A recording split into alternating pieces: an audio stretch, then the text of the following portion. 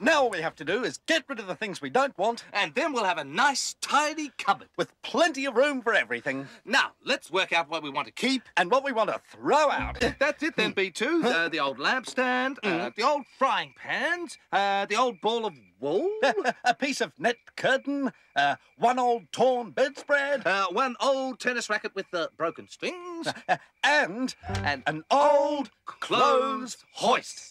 Uh, you know, it's good to be able to say goodbye to all this old rubbish, B1. Hmm. Bye-bye, rubbish. Oh, oh, hang on. What's that? Oh,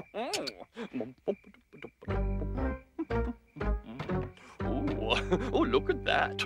It's amazing what some people throw out these days. Oh, I might be able to do something with all this lovely stuff. So Rat in a Hat loaded all the things the bananas didn't want into the back of I'm his a car. rat, I'm a rat, I'm a rat, I'm a clever, clever rat.